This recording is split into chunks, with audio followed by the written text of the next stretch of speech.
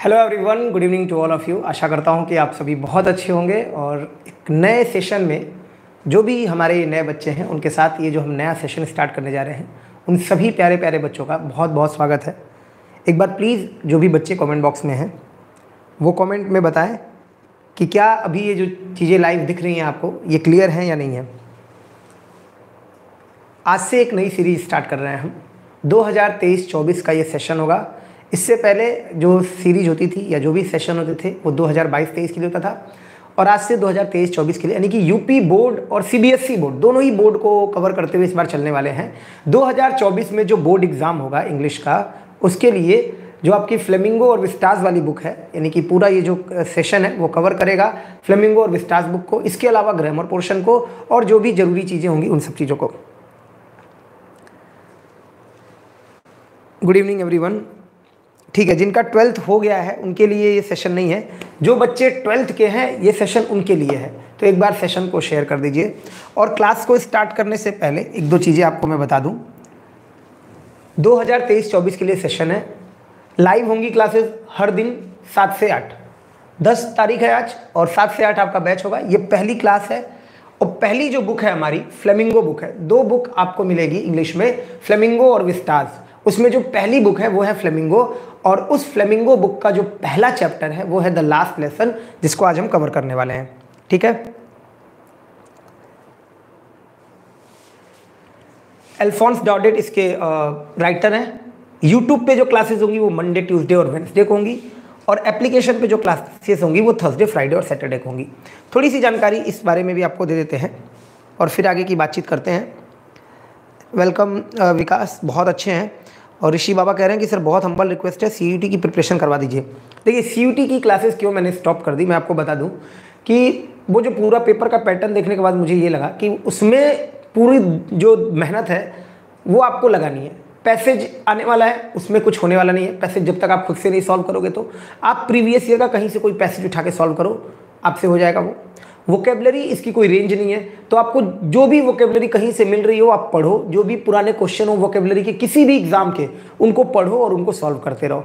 ठीक? यही वजह थी कि मुझे उसमें कुछ फ्रूटफुल चीज़ें दिख नहीं रही थी बहुत बेहतर। इसकी वजह से उस क्लास को मैंने रोक दिया। सीयूटी की जो क्लासेस थी छः सात जो क्लासेस कराई हैं, उसमें मैंने आपको बहुत क्लियरली सारे पैटर्न बता दिए कि देखो पेपर में ये पैटर्न आएँगे। पैरा जंबल एक इंपॉर्टेंट चीज़ था, जिसको मैंने पूरे क्लास में कवर किया, करीब दस पंद्रह पैरा जंबल्स आपको कराए थे। तो उसके लिए परेशान मत होइए, ठीक?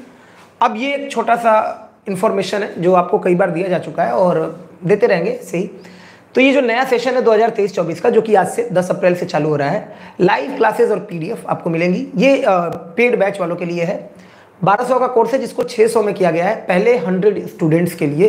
तो अगर आप इनरोल करना चाहते हैं, अगर आप ये नोटिस करोगे तो आप ये पाओगे कि ये आपका एक रुपये पर डे का है कोर्स अगर कोर्स को आप देखोगे तो वो एक रुपये पर डे का है सर ये कोर्स जो है, वो एक रुपये पर डे का है। ठीक है? पर डे का। तीस दिन का तीस रुपया हुआ, और दस महीने का जब देखोगे तो ये तीन सौ रुपया। इसीलिए ये सबसे इससे मिनिमम चार्जेस हो ही नहीं सकते थे हमारे लिए कि हम अपने एप्लीकेशन को किसी तरह से आ, मतलब एग्जिस्ट कर पाए रख पाए उसको कंट्रोल कर पाए चला पाए। हिंदी के लिए पूरी जो क्लासेस होंगी वो एप्लीकेशन पे मंडे ट्यूसडे वेनेसडे होंगी आठ बजे से नौ बजे तक क्योंकि आज पहला दिन है तो अभी ये क्लास नहीं हो पाएगी। और यूट्यूब पे थर्सडे फ्राइडे सैटरडे होगी। तो ऐसा नहीं है कि फ्री वाली क्लासेस नहीं मिलेंगी। फ्री की क्लासेस रहेंगी।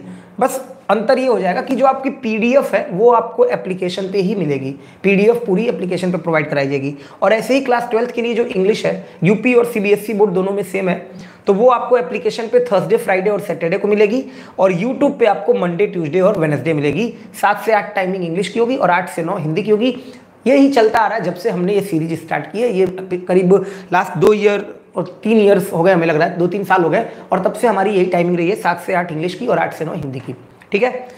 तो गूगल प्ले स्टोर से जाकर आप ये एप्लीकेशन है रविकांत मणि त्रिपाठी। ये नाम ही नहीं है एप्लीकेशन भी है। एप्लीकेशन का नाम भी यही है, ये लोगो बना होगा आपका रविकांत मणि त्रिपाठी। इस एप्लीकेशन को डाउनलोड कर लीजिए और अगर आप इंटरेस्टेड हैं पेड बैच लेने में तो आप ज़रूर लीजिए। अगर आप नहीं है, आप चाहते हैं कि नहीं, मुझे फ्री यूट्यूब पे क्लासेस से मेरा काम हो जाएगा तो आप उसको भी कर सकते हैं। दोनों में से कोई भी दिक्कत नहीं है। ठीक? तो चलिए फिर आज की क्लास स्टार्ट करते हैं।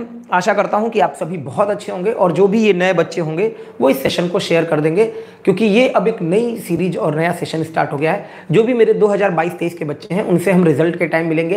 रिज़ल्ट जब आएगा तो उनसे हम एक बार इंट्रैक्शन करेंगे और उनकी कोई प्रॉब्लम हो तो नंबर मेरा है उनके पास, आप मुझे कॉन्टैक्ट कर सकते हैं। ठीक, चलिए।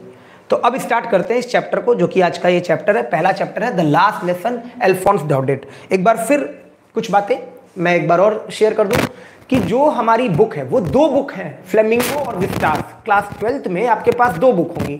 अगर यूपी बोर्ड वाला बच्चा है तो कई जगह पे एक राजीव प्रकाशन की किताब आती है।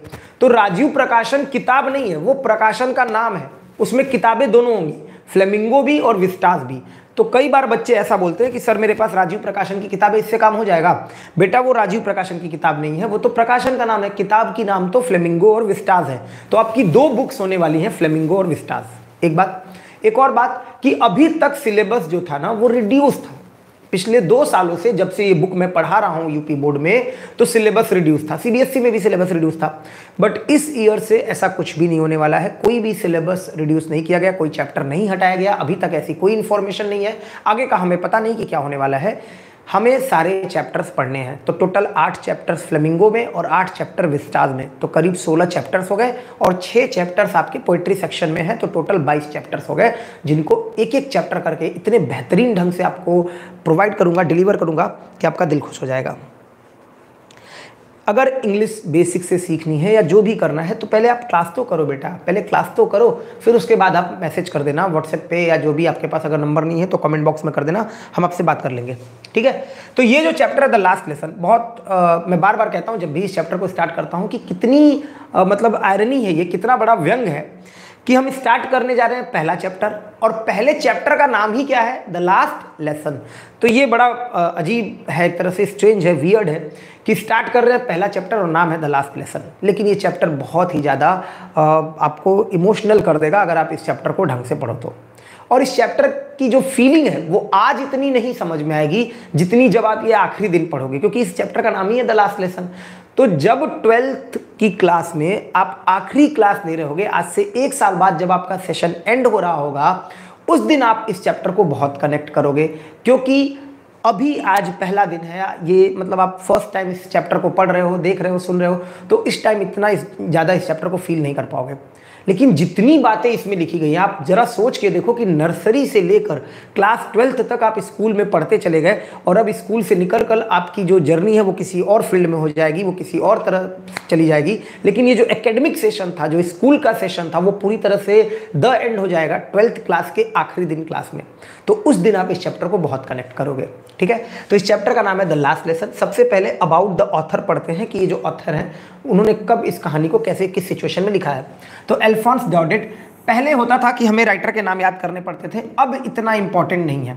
फिर भी अगर किसी बच्चे को याद रहता है तो इसमें कोई नुकसान नहीं है। इसमें कोई उसका नुकसान नहीं होने वाला है कि अगर उसको राइटर का नाम याद है तो, तो राइटर का नाम याद रहना चाहिए अगर आप पढ़ रहे हो तो अच्छे से। लेकिन पहले रेफरेंस कॉन्टेक्स्ट और एक्सप्लेनेशन आता था तो वहाँ पे राइटर के नाम याद करने बहुत ज़रूरी होते थे क्योंकि वहाँ पे लिखना होता था एक नंबर उसी का मिलता था। अब इसमें ऐसा कुछ नहीं है। नहीं भी याद रहता तो कोई दिक्कत नहीं है। तो एल्फोर्स डॉडेट जो है 1840 टू 1897 के टाइम पे थे। He was a French novelist and a short story writer वो एक फ्रेंच नॉवलिस्ट थे और शॉर्ट स्टोरी राइटर थे। जरा एक बात समझिएगा। एक होता है प्रीफिक्स बहुत सारी चीज़ें आपको इस क्लास में पता चलती रहेंगी जब आप करोगे तो। प्रीफिक्स और सफिक्स अगर किसी वर्ड के सफिक्स सफिक्स मतलब बाद में। अगर किसी वर्ड के सफिक्स में आई लगा दिया जाएगा। अगर किसी वर्ड के सफिक्स में आई लगा दिया जाएगा तो वो नाउन बन जाएगा। तो ये जो नॉवेल था, उसमें आई लगाया तो नॉवेलिस्ट बन गया। अब ये जो नाउन है, वो पर्सन को दिखाएगा, इस बात को ध्यान रखना है। जिससे आर्ट करने वाले को आर्टिस्ट बोलते हैं, उसी तरह से नॉवेल लिखने वाले को नॉवेलिस्ट बोलते हैं।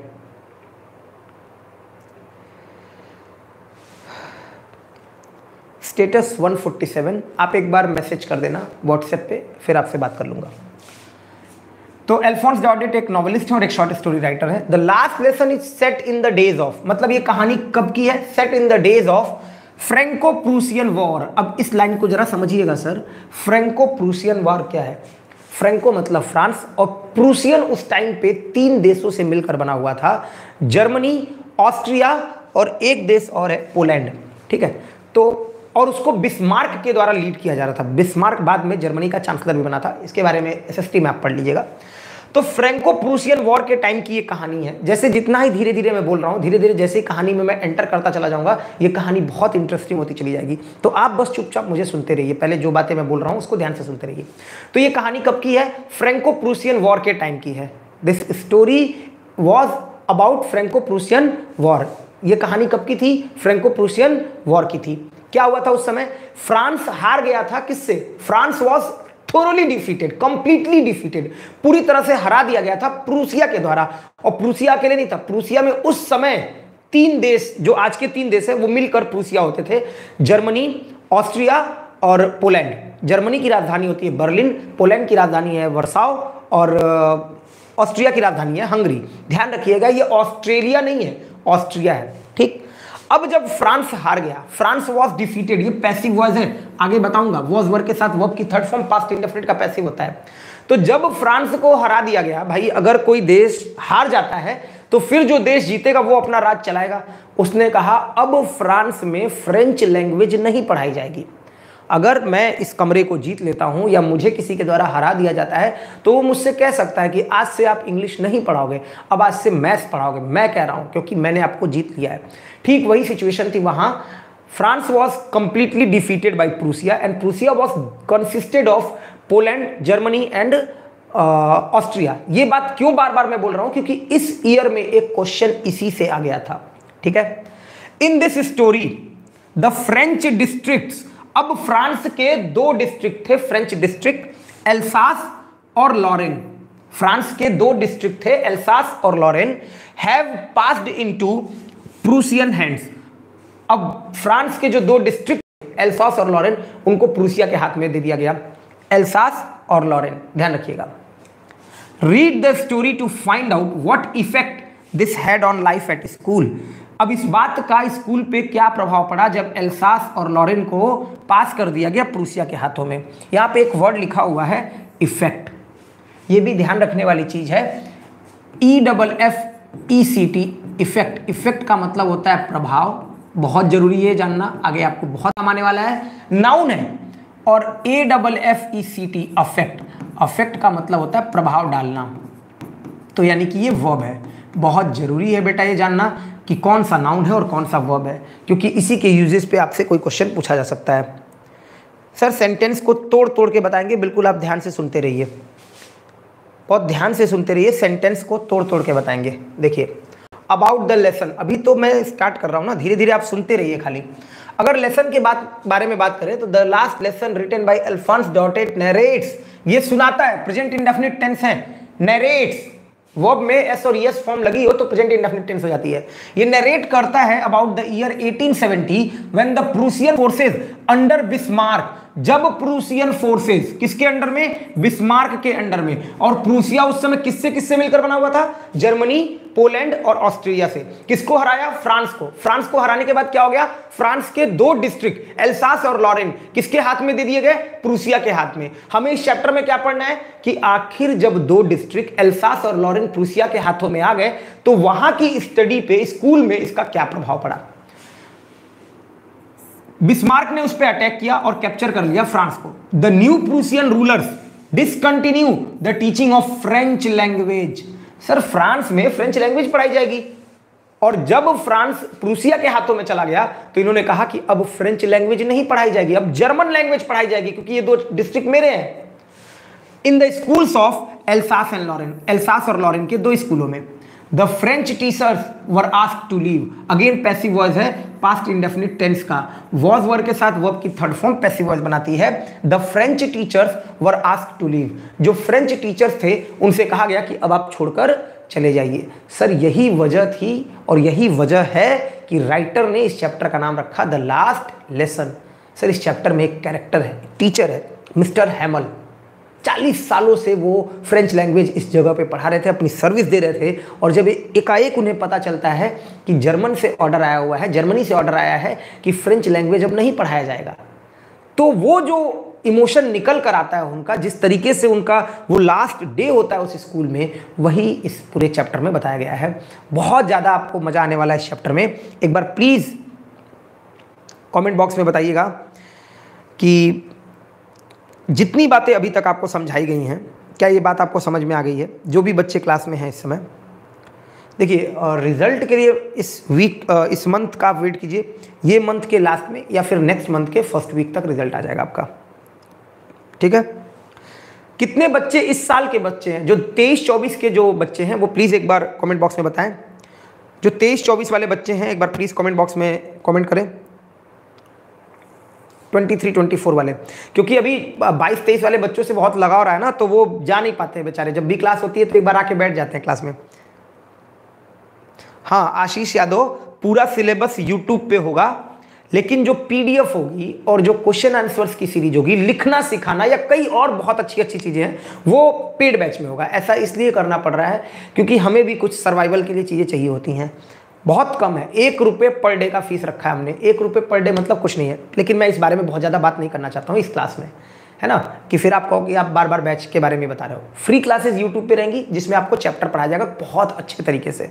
अगर आप आंसर राइटिंग सीखना चाहते हो, अगर आप कुछ सीखना चाहते हो और ज़्यादा तो उसके लिए वो पेड बैच है। ठीक है? देखिए कह रहा है, ये बाईस तेईस वाले हैं। इसीलिए मैं कह रहा था कि तेईस चौबीस वाले बताइए।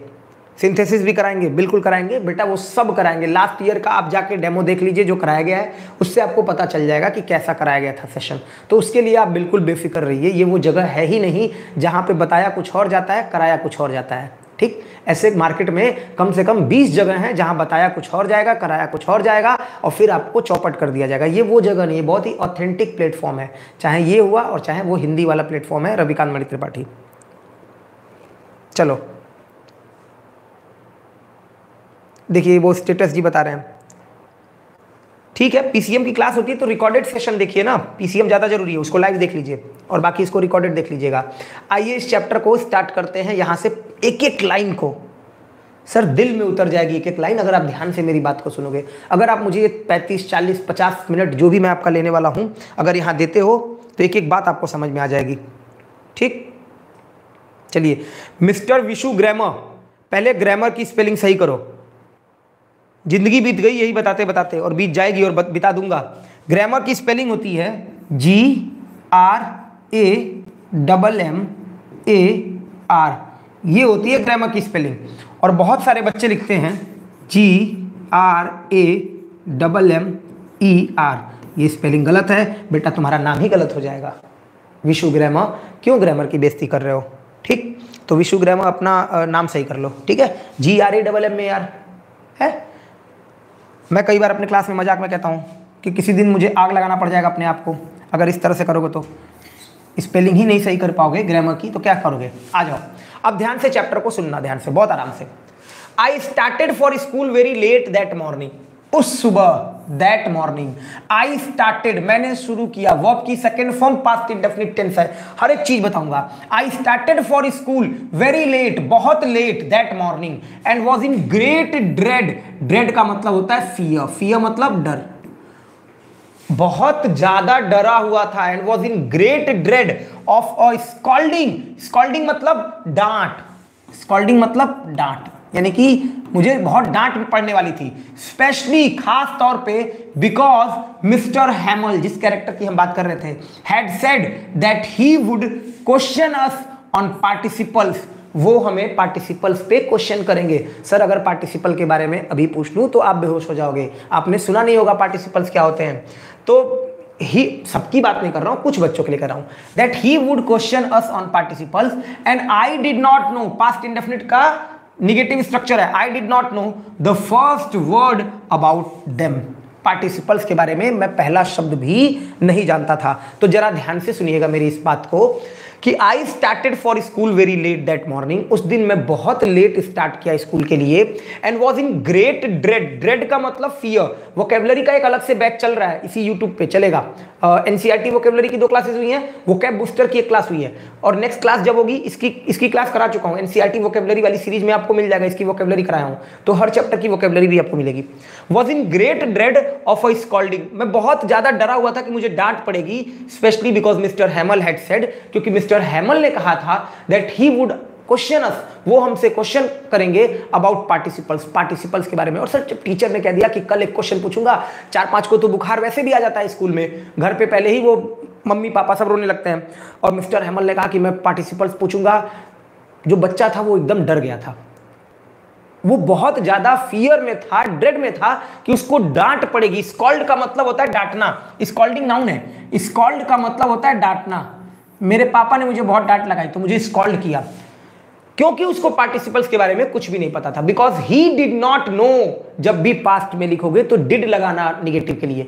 ही डिड नॉट नो और डू डज डिड के साथ हमेशा वो आपकी first form for a moment एक पल के लिए आई थॉट आई कौन है? ये समझ लो आप नरेटर जो नरेट कर रहा है इस कहानी को, जो हमें ये कहानी सुना रहा है, वो कह रहा है, एक पल के लिए मैंने सोचा थिंक की सेकेंड फॉर्म है thought for a moment I thought of running away कि भाग जाऊँ यहाँ से and spending the day out of doors मैं जाऊँ कहीं बाहर समय बिताऊं। बहुत बार ऐसा होता है, बच्चे जो है वो स्कूल से भाग जाते हैं। बहुत बार मैंने देखा है कि बच्चे कहते हैं, आज स्कूल जाने का मन नहीं कर रहा है चलो किसी और तरफ़ निकलते हैं। तो वो किसी और तरफ़ निकल जाते हैं, फिर कहीं और जाके बैठे रहते हैं, टाइम बिताते हैं। ऐसा ही कुछ इस बच्चे ने सोचा। इट वॉज़ सो वॉर्म ये बहुत अच्छा दिन था वार्म दिन था ब्राइट डे था, बहुत चमकता हुआ दिन और बहुत हल्का गर्म दिन था। द बर्ड्स वर चिपिंग जो चिड़िया थी, वो चहचहा रही थी। चिप का मतलब होता है चहा, चहचहाना C H I R P sir eleventh में एक चैप्टर पढ़े थे पोर्ट्रेट ऑफ़ अ लेडी तो वहाँ पे ये वर्ड आपको मिला था। The birds were chipping at the edge of the woods जंगल के किनारे पे। वुड का मतलब होता है लकड़ी। वुड का मतलब होता है लड़की नहीं, लकड़ी। ठीक है? लकड़ी। और वुड्स का मतलब होता है जंगल। कितना घोर डिफरेंस हो जा रहा है जंगल। वुड्स का मतलब जंगल। ठीक है? तो जंगल के एज पे चिड़िया चहचहा रही थी and in the open field back of the sawmill और एक खुले फ़ील्ड में सॉमिल के पीछे सॉमिल क्या होता है? लकड़ी काटने की जो मशीन होती है, एक फैक्ट्री होती है, वहाँ पे सॉमिल उसको बोल। लो द प्रूसियन सोल्जर्स जो प्रूसियन सोल्जर्स थे, वो ड्रिलिंग कर रहे थे। ड्रिलिंग मतलब एक्सरसाइज कर रहे थे। जो अपनी मिलिट्री एक्सरसाइज होती है, वही वो कर रहे थे। It was all much more tempting tempt का मतलब होता है लुभाना। टेम्प्ट का मतलब होता है लुभाना, टेम्प्ट। आकर्षित करना, खींचना, ठीक है? तो it was all much more tempting then the rule for participles अब जो ये बच्चा था, जो उस दिन स्कूल जा रहा था, वो लेट हो रहा था, उसे डर था कि उसे डांट पड़ेगी, क्योंकि उसके टीचर मिस्टर हैमल ने कहा था he would question him on participles वो उसको पार्टिसिपल्स में क्वेश्चन पूछेंगे and he did not know a single word about them और उसे उस वर्ड के बारे, उस पार्टिसिपल्स के बारे में एक सिंगल वर्ड भी नहीं पता था। उसका मन कर रहा था कि वो स्कूल छोड़ के कहीं और बाहर भाग जाए, कहीं दूसरी तरफ़ चला जाए। उस दिन दिन बहुत अच्छा था ब्राइट था वार्म था। जो बर्ड्स थी, वो चिरपिंग कर रही थी at the edge of the woods जंगल के किनारे पे। इसके अलावा जो प्रूसियन सोल्जर थे, वो ड्रिलिंग का काम कर रहे थे सॉमिल के पीछे। ये सब देखकर उसे लगा कि यार, ये काम करना ज़्यादा बेहतर है, क्योंकि ये ज़्यादा टेम्पटिंग है। टेम्पटिंग मतलब खींचने वाला, आकर्षित करने वाला। क्या? बाहर चला जाऊँ, इन चिड़ियों को चहचाता हुआ देखूँ प्रूसियन सोल्जर्स को देखूँ देन किसके बजाय द रूल फॉर पार्टिसिपल्स कि स्कूल जाऊँ और पार्टिसिपल्स का रूल पूछा जाए और बता ना पाऊँ और फिर चार पाँच डंडे पाऊँ। But I had the strength to resist लेकिन मेरे पास ताकत थी। नहीं बेटा, स्कूल जाना है तो जाना है। And hurried off to school और मैं स्कूल निकल पड़ा। एक बार प्लीज़ बताइएगा कि क्या आप सभी बच्चों को इतना समझ में आ गया? सर डिफरेंस क्या है? आरा मशीन प्रलोभन। पूछना क्या चाह रहा हो? मैं नहीं समझ पा रहा हूँ बेटा। जो भी बच्चे अभी क्लास में हैं, क्या आप सबको ये चीज़ें क्लियर हैं इतनी, जो बता दिया अभी? एक बार प्लीज़ कमेंट बॉक्स में बताइएगा। वुड और वुड्स में वुड का मतलब होता है लकड़ी, है ना? वुड होता है लकड़ी अनकाउंटेबल नाउन एक तरह से। लेकिन वुड में एस लगा दोगे तो वुड्स का मतलब होता है जंगल।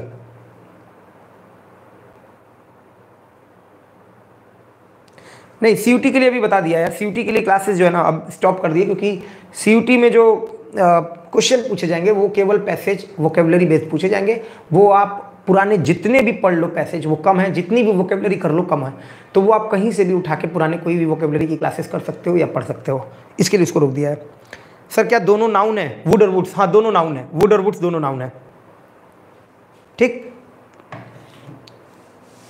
चलो, यहाँ तक समझ आ गया? नेक्स्ट देखते हैं कहाँ पे है फिर। अगला पैराग्राफ क्या है? इधर नहीं है।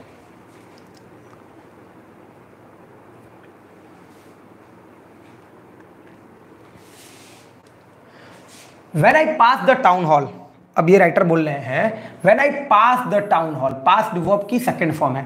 जब मैं टाउन हॉल के पास से गुजरा, अब मैंने अपने आप को तैयार कर लिया कि नहीं भैया, ऐसा है, मैं स्कूल जाऊँगा। मेरे पापा ने फ़ीस दी है यार, मैं पढ़ने वाला बच्चा हूँ। भले पिटूँगा तो क्या हुआ? और यही जज्बा होना चाहिए कि अगर किसी दिन आपसे कहा जाए कि आज स्कूल में ये चीज़ें पूछी जाएँगी तो जज्बा ये होना चाहिए कि चाहे मेरे सर मुझे पीट पीट के मसाला बना दे, स्कूल तो मैं जाके रहूँगा। मैं डरूं किस बात के लिए?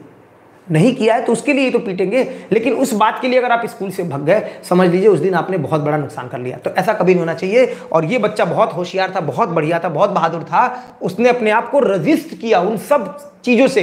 वो चीज़ें जो कि लुभाने वाली थी, लुभाने वाली थी मतलब टेम्पटिंग थी। लेकिन उसने अपने आप को रोका रजिस्ट किया and hurried off to school और स्कूल की तरफ़ भागा। जब वो टाउन हॉल से गुजर रहा था there was a crowd in front of the bulletin board sir एक नया टर्म आया। सर ये बुलेटिन बोर्ड क्या है sir there was a crowd भीड़ थी in front of the bulletin board bulletin board के सामने। सर ये बुलेटिन बोर्ड क्या है?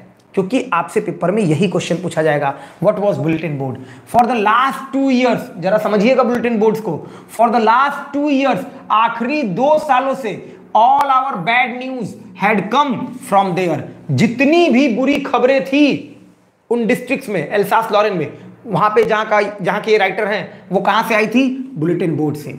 The lost battles the draft the orders of the commanding officer चाहे बात लॉस्ट बैटल की हो, यानी कि कोई युद्ध हार गए हो, या किसी मसौदे की हो, कोई मसौदा बन के आया हो कि ये बनेगा चीज़ें, ये चीज़ें होंगी। या फिर order of of the commanding officer या फिर कमांडिंग ऑफिसर का कोई नया ऑर्डर आ रहा हो, ये सारे ही बैड न्यूज़ आते थे उस बुलेटिन बोर्ड से। और उस दिन भी जब मैं टाउन हॉल के पास से गुजरा तो मैंने बुलेटिन बोर्ड के पास कुछ भीड़ देखी और फिर मुझे लगा कि फिर कुछ गड़बड़ है। And I thought to myself और मैंने खुद से सोचा विदाउट स्टॉपिंग बिना रुके, क्योंकि मैं लेट भी हो रहा था what can be the matter now मामला क्या हो सकता है तो अगर आपसे पूछा जाएगा बुलेटिन बोर्ड क्या है तो बुलेटिन बोर्ड एक सोर्स ऑफ़ इंफॉर्मेशन था, जहाँ से पिछले दो सालों से जितनी भी बुरी खबरें थी, वो आ रही थी। चाहे बात लॉस्ट बैटल्स की हो, हारे हुए युद्ध की हो, हारने वाले युद्ध की हो, चाहे वो ड्राफ्ट की हो, मसौदे की हो, और चाहे ऑर्डर ऑफ़ कमांडिंग ऑफिसर की हो, ये सारी ही खबरें बुलेटिन बोर्ड के थ्रू ही मिलती थी। नेक्स्ट देखिए। Then as I hurried by as fast as I could go the blacksmith और मुझे लगा कि भाई, यहाँ रुकने का कोई मतलब नहीं है। यहाँ से जितना जल्दी हो सके निकल लो। देन तब एज आई हरीड बाई मैं बाहर, मैं बहुत तेज निकला। As fast as I could go जितना तेज़ी से मैं जा सकता था, क्योंकि इस बच्चे को पता था कि वो स्कूल के लिए लेट हो रहा है और जो उसके टीचर है मिस्टर हैमल वो पार्टिसिपल पे क्वेश्चन करेंगे। सर अगर आप पूरी क्लास को सुनते रहोगे एक एक बात आपके यहाँ तक उतरेगी। अगर पूरी क्लास को सुनते रहोगे एक एक बात यहाँ तक उतर जाएगी, गूंजती रहेगी अगले कई दिनों तक, कई सालों तक। एक भी लाइन भूलेगी नहीं। Then as I hurried by और जैसे ही मैं वहाँ से भागा as fast as I could go जितनी तेज़ी से मैं भाग सकता था द ब्लैक स्मिथ वो जो लुहार था, क्या नाम था उसका?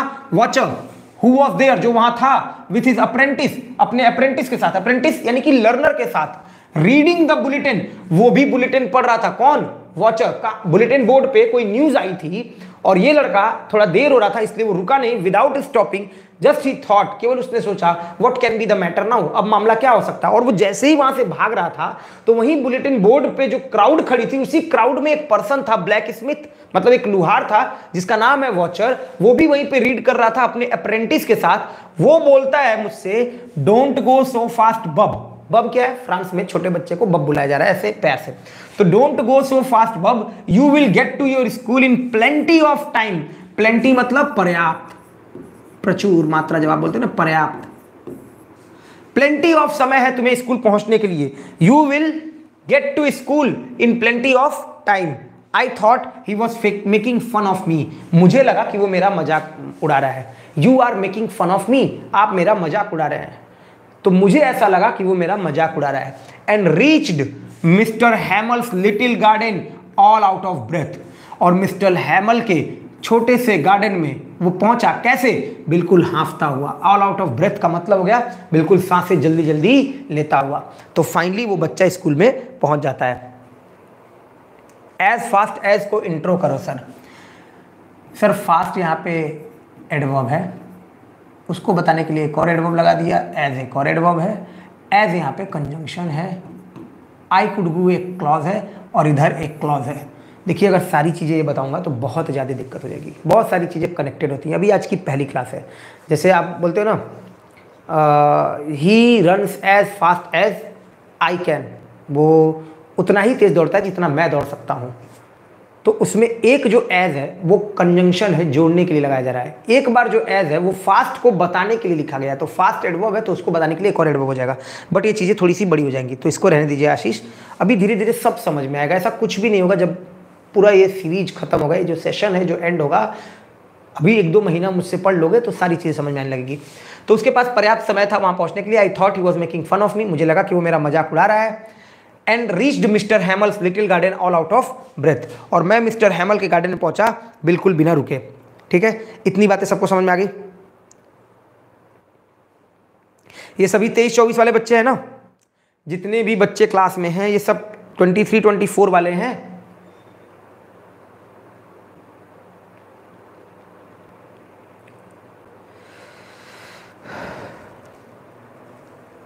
यस सर यस सर हाँ अब ठीक लगा।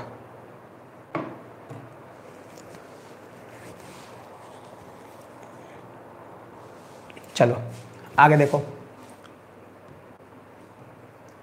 एक एक लाइन समझाऊँगा एक एक लाइन। ऐसा कुछ रहेगा ही नहीं जो आपको ना समझ में आए। अगर ध्यान से सुनते चले जाओगे तो। बढ़िया। चलो, आगे देखो। Usually when school began usually मतलब आमतौर पर जब स्कूल शुरू होता था बिगिन वर्ब की सेकेंड फॉर्म में, बहुत सारे बच्चों को वर्ब की फॉर्म नहीं आती है ट्वेल्थ क्लास में आने के बाद भी। बिगिन बिगेन बिगन तो सेकेंड फॉर्म है तो बिगेन लिख दिया। यूजुअली जब स्कूल शुरू होता था there was a great bustle now what is bustle bustle मतलब नॉइज़ इसको आप कहते हो ह्यू एंड क्राई बहुत सारा शोरगुल। बहुत शोरगुल होता था there was a great bustle which could be heard जिसको सुना जा सकता था पैसिव वॉज़ है मॉडल का which could be heard out in the street बाहर स्ट्रीट में। The opening and closing of desk lesson repeated in unison very loud with our hands over our ears to understand better, and the teacher's great ruler rapping on the table sir ये line बहुत अच्छी है और पूरी बात को ध्यान से सुनिएगा।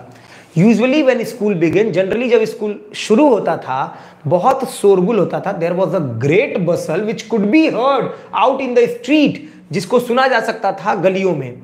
और वो क्या क्या बसल होता था क्या क्या नॉइज़ होता था? The opening and closing of desk ऐसा होता ना स्कूल में पहली क्लास होती है तो आप देखते हो सीट इधर उधर आवाज़ चूचे करता रहता है। The opening and closing of desk lesson repeated in unison unison मतलब एक साथ एक स्वर में। लेसन जो होते थे वो एक साथ एक स्वर में पढ़े जाते थे। वेरी लाउड बहुत ज़ोर ज़ोर से with our hand over our ears ऐसा करके क्या होता है, जब आप ऐसे करके पढ़ोगे तो आपका कंसंट्रेशन इतना बढ़िया होगा। इस समय में जब मैं बोल रहा हूँ तो मुझे कुछ ध्यान ही नहीं आ रहा है कि मैं क्लास में पढ़ा रहा हूँ या क्या कर रहा हूँ। मुझे सिर्फ़ अपनी आवाज़ सुनाई दे रही है। तो जब आप ऐसे करोगे तो फोकस इतना अच्छा होगा। बचपन में आपको ध्यान हो तो हम ऐसे ही करके कुछ चीज़ें याद करते थे। तो very loud with our hands over our ears to understand better ताकि हम बेहतर समझ सके। And the teacher's great ruler और जो टीचर का ग्रेट रूलर था रैपिंग ऑन द टेबल वो टेबल पे पढ़ता रहता था। कितने बच्चे काम पूरा करके नहीं लाए? कितने बच्चों ने होमवर्क नहीं किया? कौन कौन फ़ीस नहीं जमा किया? किसने अटेंडेंस नहीं बोली? हम लोग तो इसके लिए भी पिटते थे भाई। अटेंडेंस नहीं बोल पाए तो उसके लिए भी दो थप्पड़ पड़ते थे कि बेटा अटेंडेंस क्यों नहीं बोली? कैसे भूल गया? यानी कि तुम्हारा ध्यान नहीं था। तो ये भी चलता रहता था। But now it was also still लेकिन ये क्या? आज तो एकदम सब कुछ शांत था। I had counted on the commotion commotion मतलब उथल पुथल। उथल पुथल। मतलब जो इधर उधर की एक्टिविटी होती थी नॉइजी उसी को कह लो। I had counted on counted on मतलब सहारा लेना। The commotion to get to my desk without being seen अक्सर ऐसा होता था, जब मैं स्कूल में पहुँचता था तो खूब शोरगुल होता था। बच्चे अपना पाठ याद करते थे। सीटें इधर उधर होती थी और टीचर अपना रूलर पटकते थे। और मैं क्या करता था, इसी का सहारा लेके काउंटेड ऑन सहारा लेते हुए, किस चीज़ का? कॉमोशन का। कॉमोशन मतलब यही जो उथल पुथल चल रहा है जो बसल हो रहा है जो नॉइज़ हो रहा है, ये जो ह्यू एंड क्राई हो रहा है, इसी का सहारा लेकर विदाउट बींग सीन बिना दिखाई दिए, कि मतलब मुझे टीचर पकड़ ना पाए, इसी शोरगुल से क्लास में घुस के बैठ जाता था। होता है ना कि सुबह पहली क्लास चल रही हो टीचर अभी आए हैं तो कोई बच्चे खड़े हैं, कुछ बच्चे बैठे हैं, कोई बैग पटक रहा है, कोई बोल रहा है और उसी बीच में कोई लेट आता वो बच्चा है तो धीरे से आके बैठ गया, पता नहीं चला। बट ऑफ़ कोर्स लेकिन वास्तव में that day everything had to be as quiet as Sunday morning उस दिन बिल्कुल अजीबो गरीब बात थी। सब कुछ उतना ही शांत था as quiet as Sunday morning जितना कि संडे की मॉर्निंग यही सब आपसे पूछा जाएगा कि जो बच्चा था जिसको आप कह सकते हो लिटिल फ्रेंच। आगे चल के आपको पता चल जाएगा। तो लिटिल फ्रेंच उस दिन स्कूल क्यों नहीं आना चाहता था? तो आप कहोगे, सर, क्योंकि उसको पता था कि उसके टीचर मिस्टर हैमल पार्टिसिपल्स के बारे में पूछेंगे and he did not know single word about them उसे पार्टिसिपल्स के बारे में एक भी शब्द नहीं पता था। बुलेटिन बोर्ड क्या है? तो bulletin board, sir, source of information है, जहाँ पे सारी इंफॉर्मेशन मिलती है। और जब लिटिल फ्रेंच वहाँ से, लिटिल फ्रेंच कौन है? ये छोटा बच्चा यानी कि नरेटर और मिस्टर हैमल कौन है? टीचर, यही दो मेन कैरेक्टर है। तो जब लिटिल फ्रेंच वहाँ बुलेटिन बोर्ड के पास से निकल रहा होता है तो देखता बहुत भीड़ है और बुलेटिन बोर्ड एक सोर्स ऑफ़ इंफॉर्मेशन है, क्योंकि लास्ट दो सालों से जितनी भी बुरी न्यूज़ है, चाहे वो ड्राफ्ट हो, चाहे वो कमांडिंग ऑफिसर का ऑर्डर हो, और चाहे वो लॉस्ट बैटल की न्यूज़ हो, सारा वहीं से मिला था। जब लिटिल फ्रेंच स्कूल में पहुँचता है तो वो क्यों सरप्राइज़ हो जाता है? क्योंकि सर यूजुअली स्कूल में बहुत सारा बसल होता है। बसल मतलब नॉइज़ होता है। टीचर्स जो है, वो रूलर को पटक रहे होते हैं। मिस्टर हैमल अपने रूलर को सीट पे पटक रहे होते हैं। Opening and closing of desk यानी कि सीटें इधर उधर हो रही होती हैं। बच्चे अपना part repeated their lesson in unison एक साथ एक स्वर में putting their hands over their ear अपने हाथों को अपने कान के ऊपर रख के टू अंडरस्टैंड बेटर ताकि वो बेहतर समझ सके। इस काम के लिए ऐसा करते हैं। तो बहुत सारा शोरगुल होता है। और अक्सर मैं इसी शोरगुल का फ़ायदा उठा के I counted on this commotion मैं ऐसा किया था प्रीवियस इंस्टेंसेस में और मैं क्लास में एंटर कर गया था। लेकिन लेकिन लेकिन उस दिन ऐसा कुछ भी नहीं था। Everything was as quiet as Sunday morning सब कुछ संडे मॉर्निंग के जैसा क्वाइट था। थ्रू द विंडो और विंडो के थ्रू मैंने देखा। सी की second form saw my classmates already in their places सब लोग अपनी जगह पे बैठे थे। And Mister Hamel walking up and down with his terrible iron ruler अपने भयानक आयरन रूलर के साथ। उस दिन मैं सरप्राइज़ था। आज संडे नहीं है। तब इतनी शांति क्यों है? भाई डेली इतना हल्ला होता है। आज क्लास में इतनी शांति क्यों है? क्यों सब लोग इतने शांत हैं? और तब मैंने विंडो से देखा है टीचर तो घूम रहे हैं रूलर लेके। कौन? मिस्टर हैमल अपना आयरन रूलर लेके टहल रहे थे इधर और सारे बच्चे अपनी जगह पे बैठे हुए थे। अंडर हिज आर्म और अपने हाथ में ऐसे रूलर लेके और मिस्टर हेमल टहल रहे थे। I had to open the door and go in before everybody और मुझे दरवाज़ा खोलना था और सबके सामने ही जाना था। मेरे पास कोई ऑप्शन नहीं था। इसके पहले मैं क्या करता था? जितना हल्ला होता था, उसी हल्ले में धीरे से निकल जाता था। इस बार ऐसा नहीं था। मेरे पास को ये क्या है भाई? अगर थोड़ी भी रिस्पेक्ट हो, है ना? बागेश्वर धाम सरकार तो यार ये कोई कमेंट करने का तरीका है। मत करो ऐसे। बाद में मैसेज कर देना, मैं देख लूँगा। You can imagine how I blush and how frighten I was जरा सोचिए नरेटर कह रहे हैं आप लोगों से, जरा सोचिए कि हर दिन जब मैं स्कूल पहुँचता था तो मैं चुपके से वो जो नॉइज़ होता था, जो बसल होता था, जो कॉमोशन होता था, मैं उसका सहारा लेके क्लास में एंटर कर जाता था। अब जरा सोचिए, उस दिन मैं कितना शर्म से लाल हो गया, कितना ब्लश कर गया, जब मैं देखा कि सब लोग मुझे ही देख रहे हैं। अरे, फिर आ गए बेटा लेट है? तो सब लोग मेरी तरफ़ ही देख रहे थे। हाउ ब्लश आई वॉज़ कितना ब्लश हो गया था मैं। And how frighten I was कितना डर गया था मैं। फ्राइटेन मतलब डरा होना। डरा होना, है ना? डरा होना। बट नथिंग हैपन लेकिन कुछ भी नहीं हुआ। Nothing happen Mr Hamel saw me and said very kindly. Mr Hamel ने मुझे देखा और बड़ी प्यार से कहा। सेड वर्ब है वर्ब के बारे में बताएगा तो एडवर्ब हो जाएगा। तो काइंडली क्या है? एडवर्ब कितना काइंडली? Very kindly. एडवर्ब के बारे में अगर कोई चीज़ बताती है तो वो भी क्या हो जाएगी? एडवर्ब हो जाएगी। तो बड़े प्यार से कहा अच्छा जब ये अभी तक जितनी बातें करी हमने किसमें करी? पास्ट में करी। ये सारी चीज़ें पास्ट में है। लेकिन जब कोई बात डबल इन्वर्टेड कॉमा के अंदर लिखी जाएगी तो वो उसी टेंस में लिखी जाएगी, जिस टेंस में उस समय रिपोर्ट की गई थी, यानी कि बोली गई थी। तो उस समय ये इंपरेटिव सेंटेंसेस है। जब भी कोई सेंटेंस वर्ब से स्टार्ट होता है तो वो इंपरेटिव होता है। कम हियर यहाँ आओ गो देयर वहाँ जाओ सिट डाउन बैठ जाओ हेल्प मी मदद करो। तो उस समय टीचर यानी कि मिस्टर हैमल ने जो कहानी को नरेट कर रहे हैं, यानी कि नरेटर यानी कि ये जो स्टूडेंट है, यानी कि जो लिटिल फ्रेंड है, उससे कहा go to your place quickly अपनी जगह पे चले जाओ. कैसे जाओ? जल्दी जाओ. तो क्विकली किसके बारे में बता रहे हैं? गो के बारे में. गो शब्द क्या है? वर्ब वर्ब के बारे में बताएगा तो क्या हो जाएगा? एडवर्ब बात समझ आ रही है? क्विक क्या होता है? क्विक एडजेक्टिव क्विक क्या होता है? एडजेक्टिव और एडजेक्टिव में एल वाई लगाकर जनरली हर बार ऐसा नहीं होगा जनरली ऐसा होगा कि एडजेक्टिव में एल वाई लगाकर एडवर्ब बनाते हैं। इसीलिए क्विक में एल वाई लगाया तो क्विकली एडवर्ब है। किसके बारे में बता रहा है? वर्ब के बारे में। केयरफुल में एल वाई लगाओ तो केयरफुली एडवर्ब है। केयरफुल एडजेक्टिव है केयरफुली एडवर्ब है।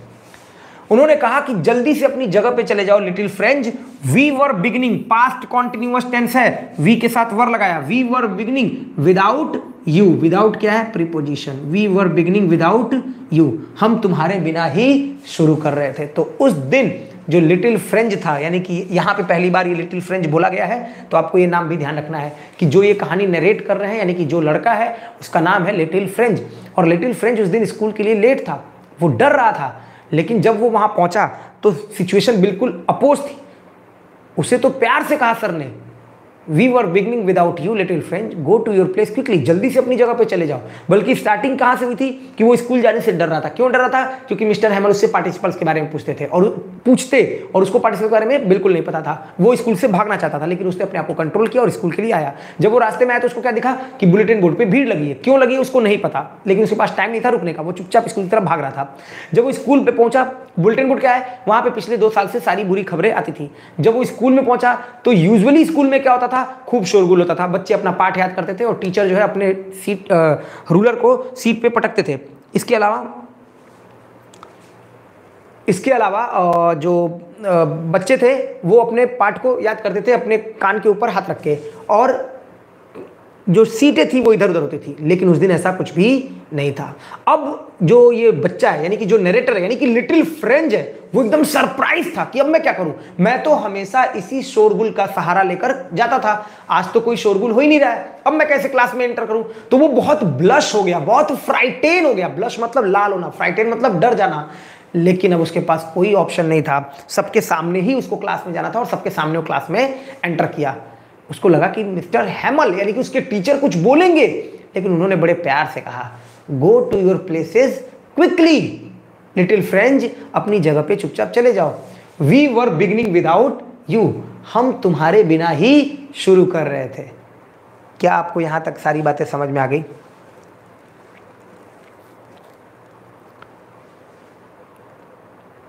सब कुछ मिलेगा बेटा। देखो, अगर क्लास के, आप बाद मैसेज कर देना, मैं आपको कमेंट बॉक्स में, बाकी नंबर दे दूँगा, आपको बता दूँगा। मोबाइल नंबर है eight three one seven zero seven double one five six eight three one seven zero seven double one five six इस नंबर पे मैसेज कर देना। मैं क्लास के बीच में ये सब चीज़ें बात नहीं करूँगा, ठीक? क्लास में केवल पढ़ाई होगी। जब भी यहाँ बैठेगा कोई बच्चा तो उसका एक एक मिनट पढ़ाई के लिए डेडिकेटेड होना चाहिए, और वो पढ़ाई को देगा तो eight three one seven zero seven double one five six है। इस नंबर पे आप मैसेज करना एक एक इन्फॉर्मेशन आपको दे दूँगा, जो भी पूछना होगा। यहाँ पे जब भी क्लास होगी, है ना तो ये हमेशा से रहा है। मेरी इस क्लास में आपको सिर्फ़ पढ़ने को ही मिलेगा।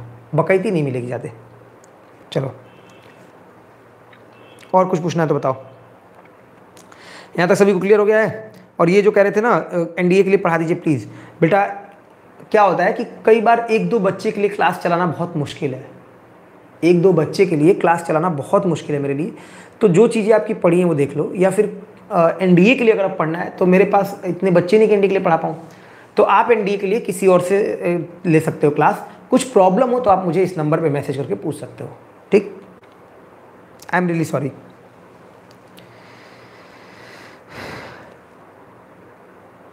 और कुछ पूछिए कुछ है तो बताइए तो फिर आगे स्टार्ट चलें इसको, बढ़ाएँ आगे। अगर समझ में आ रहा है तो बहुत अच्छी बात है। हाँ अगर कोई आपके और भाई बहन है, कोई दोस्त हैं जिनको पढ़ना हो तो उनसे शेयर कर सकते हो, ये ज़रूर कह सकता हूँ मैं। क्लियर सभी को?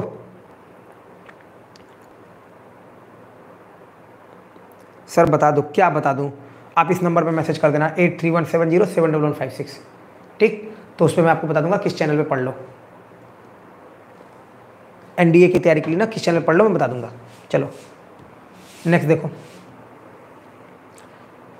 अगला पैराग्राफ देखते हैं। I jump over the bench मैं अपनी सीट पर कूद के बैठ गया, जल्दी से गया और बैठ गया। क्योंकि मैं तो पहले ही डरा हुआ था ब्लस था, लाल हो रहा था कि यार ये क्या हो गया मुझसे। मुझे ऐसा तो नहीं करना चाहिए था। और अब लेट आया था, कुछ ऑप्शन भी नहीं था। हर बार शोरगुल में बच के चला जाता था। I jump over the bench and sat down at my desk और अपने सीट पे जाकर बैठ गया। Not till then when I had got a little over my fright fright मतलब डर। देखो F R I G S T fright का मतलब होता है डर। ये क्या लिख दिया मैंने? फ्राइट मतलब फ्राइट का मतलब होता है डर। इसी फ्राइट वर्ड से बनना है फ्राइटेन फ्राइटेन्ड है ना? और फ्राइटेन का मतलब होता है डराना F R I G S T N frighten करना, डराना। तो इससे बना हुआ वर्ड है एक फ्राइटेंड तो अभी ऊपर आया था फ्राइटेंड देखो, और यहाँ पे है फ्राइट तो ये जो फ्राइट है, ये नाउन है। ये जो फ्राइटेंड है, वो एडजेक्टिव है। जब मैं अपनी सीट पे गया और कूद के बैठ गया, और तब तक not till then when I had got a little over my fright जब मैं अपने डर पे थोड़ा काबू पा लिया, जो मेरे अंदर डर था, जो मेरे अंदर नर्वसनेस थी, थोड़ा काबू पा लिया कि भैया, ये समझना पड़ेगा क्या है तो मैं थोड़ा उससे ऊपर उठा। Did I see that our teacher had on his beautiful green coat तो पहले सरप्राइज़ हुआ था क्या? कि क्लास में एकदम शांति थी, कोई शोरगुल नहीं था। फिर एक बार और सरप्राइज़ हुआ। कैसे सरप्राइज़ हो गया? जब मैं अपनी सीट पे बैठा और अपने फ्राइट को मतलब अपने डर को थोड़ा पार पाया, उससे ऊपर उठा, तब मैंने नोटिस किया हो हमारे टीचर ने तो आज ग्रीन कोट पहन रखी है। I see did I see that our teacher had on his beautiful green coat his frilled shirt and the little black silk cap all embroidered सब कढ़ाई की गई थी। उनकी जो कोट थी शर्ट थी और कैप थी। तो his beautiful green coat frilled shirt और little black silk cap all embroider that he never wore wear की सेकेंड फॉर्म है वो वियर मतलब पहनना। That he never wore except on inspection and prize day inspection और prize days के अलावा वो कभी नहीं पहनते थे। तो जो लिटिल फ्रेंच है, अब मैं बार बार क्या बोलूँगा? लिटिल फ्रेंच स्टार्टिंग मैंने बच्चा बोला नरेटर बोला, अब मैं जितनी बार पढ़ाऊँगा, उतनी बार बोलूँगा लिटिल फ्रेंच तो लिटिल फ्रेंच जब क्लास में पहुँचा तो उसने क्या देखा?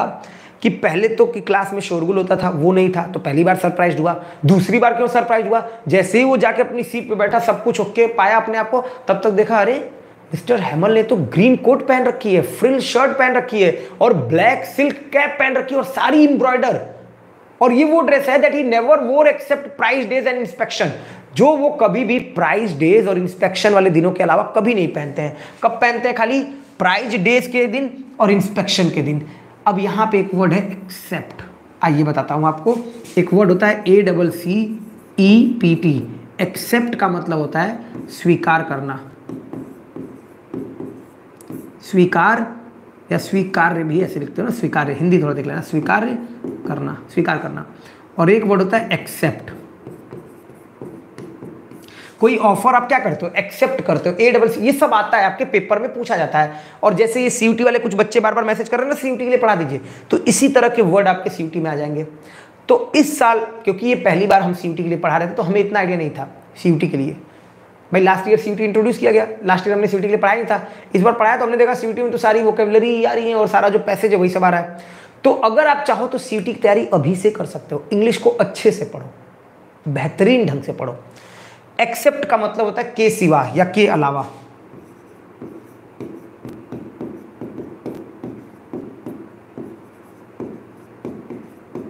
मतलब कोई चीज़ के अलावा। एक्सेप्ट दिस इंस्पेक्शन डे और प्राइज डेज़ के अलावा बाकी वो हर दिन ये ड्रेस मतलब इसके अलावा कभी ये ड्रेस नहीं पहनते थे। तो A double C P T except होता है E X C P T except होता है। बिसाइड्स इसके अलावा इन सब के अतिरिक्त, इन सब के मतलब इन सब बातों के साथ अतिरिक्त the whole school seemed so strange and solemn solemn का मतलब होता है सीरियस उस दिन पूरा स्कूल काफ़ी अजीब दिखा और काफ़ी सीरियस दिखा। बिसाइड्स एक और वर्ड आपको मिला, थोड़ा सा इसको मैं समझाना चाहूँगा, एक दो मिनट में बता दूँगा। देखिए, एक और अच्छा वर्ड है, एक वर्ड होता है beside B E S I D बहुत ध्यान से समझिएगा बेटा। बिसाइड मतलब बगल में। जैसे बोलते हो, वो आया और मेरे बगल में बैठ गया, है ना? वो आया और मेरे बगल में बैठ गया। He came and sat beside me ये सब आता है, सब ज़रूरी है, सब नोट कर लीजिएगा। He came and sat beside me और फिर एक वर्ड होता है बिसाइड्स क्योंकि जब मैं पढ़ाऊँगा ना तो मैं उसी में सारी चीज़ें बताता हुआ चलूँगा। अलग से तो सब बताऊँगा ही बताऊँगा। लेकिन जब आप लिटरेचर पढ़ो तो उसका मज़ा और ज़्यादा हो जाता है जब ये सारी चीज़ें सीखते हुए चलते हो तो। ठीक है? तो बिसाइड्स मतलब इन एडिशन टू कह लो, या के साथ साथ। के साथ साथ या के अलावा भी कह लो। एक्सेप्ट मतलब को छोड़कर और इसका मतलब के साथ। बिसाइड्स मतलब इन सब के साथ साथ the whole school seemed so strange and solemn वो जो पूरा स्कूल था वो काफ़ी अजीब और काफ़ी सीरियस दिख रहा था। चलिए बताइए। प्राइज डेज़ मतलब जिस दिन प्राइज डिस्ट्रीब्यूशन होता था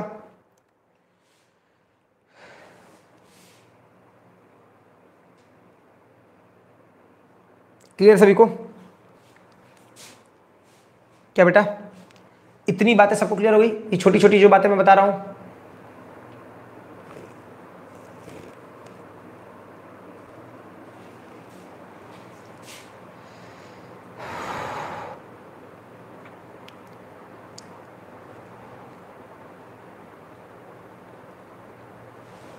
चलो, अगला देखो, एक और पैराग्राफ लेकिन एक और चीज़ थी, दो चीज़ें सरप्राइज़ कर चुकी थी। दो चीज़ें क्या क्या सरप्राइज़ कर चुकी थी? एक, कि इस क्लास में उस दिन शोरगुल नहीं हो रहा था, बिल्कुल शांति थी। दूसरा, क्या उनको सरप्राइज़ हुआ? मतलब वो क्या सरप्राइज़ किया लिटिल फ्रेंच को? तो जो मिस्टर हेमल थे, उनकी ड्रेस और तीसरा, उससे भी ज़्यादा सरप्राइज़ करने वाली चीज़ थी but the thing that surprised me most was to see on the back benches that were always empty पीछे की सीट हमेशा खाली होती थी, उस दिन वो सीटें खाली नहीं थी। The village people sitting quietly like ourselves जो गाँव के लोग पढ़ने आते थे, वो हमारी ही तरह चुपचाप बैठे हुए थे। गाँव के लोग भी हमारी तरह चुपचाप बैठे हुए थे। ओल्ड हाउजर कोई नाम है कोई पर्सन का with his three corner hat तीन कॉर्नर वाली हैट थी उसके पास। हाँ ऐसी कोई हैट थी उसके पास। द फॉर्मर मेयर पूर्व मेयर द फॉर्मर पोस्टमास्टर पहले का पोस्टमास्टर फॉर्मर मतलब पूर्व, पहले के जो former captain and several other besides और इनके अलावा और कई लोग, इनके साथ साथ कई और लोग। एवरीबडी लुकड सैड अभी लिटिल फ्रेंच को कुछ नहीं पता है क्या हो रहा है। ये सारी घटना उसने एक एक करके बता दी कि वो स्कूल के लिए निकला था, लेट था और बुलेटिन बोर्ड से होकर क्लास में पहुँचा, क्लास में शोरगुल होता था, उस दिन शांति थी। मिस्टर हेमल ने उससे कहा, little French we were beginning without you go to your place quickly अपनी जगह पर जाके बैठा। जब उसने बैठा, तब नोटिस किया कि मेरे टीचर मिस्टर हेमल ने तो आज ग्रीन कोट फ्रिल शर्ट और ब्लैक सिल्क कैप पहन रखी है। इन सबसे नज़र हटी तो फिर एक और चीज़ और सरप्राइज़ करने वाली। अरे आज तो पीछे की सीटें खाली भी नहीं है। गाँव के लोग हमारे ही तरीके से आकर बैठे हुए हैं। पूर्व मेयर फॉर्मर मेयर पूर्व हाउसर जो पहले के सॉरी पोस्टमास्टर और और भी कई अतिरिक्त लोग। और इसके अलावा ओल्ड हाउसर कोई व्यक्ति है, कोई पर्सन है ये प्रॉपर नाउन हमेशा कैपिटल लेटर में लिखा जाता है। ये सब लोग आकर चुपचाप ऐसे ही उस सीट पर, आखिरी की सीटों पर बैठे हुए थे और सब लोग बहुत उदास थे। And old Hauser had brought an old primer एक पुरानी किताब लेकर आया था थम एट द एजेस जो किनारों पे थम हो गई थी। मतलब इतनी बार उसको पलटा गया था कि वो किनारों पे थम उसके निशान आ गए थे। And he held it open on his knees और अपने घुटनों पर उसने खोल रखा था with his great spectacles lying across the pages और उसके जो चश्मे थे स्पेक्टेकल्स थे, वो पेजेस पे ऐसे ही पड़े हुए थे। ठीक? स्पेक्टेकल्स को ध्यान रखिएगा। एक और वर्ड है स्पेक्टेकल बहुत ध्यान से सुनिएगा बेटा। एक होता है स्पेक्टेकल और एक होता है स्पेक्टेकल्स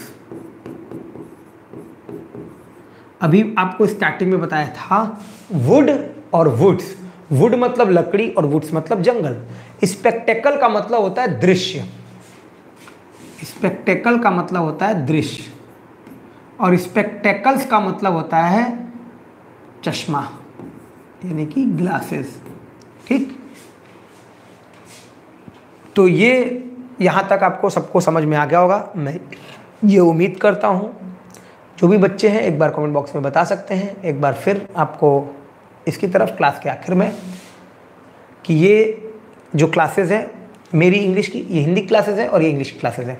दोनों ही classes YouTube channel Ravikant Mani Tripathi और ये जो इंग्लिश का चैनल है डीन सर द एजुकेटर इसके अलावा प्ले प्ले स्टोर से जाकर गूगल प्ले स्टोर से जाकर आप डाउनलोड कर सकते हैं एप्लीकेशन रविकांत मणि त्रिपाठी।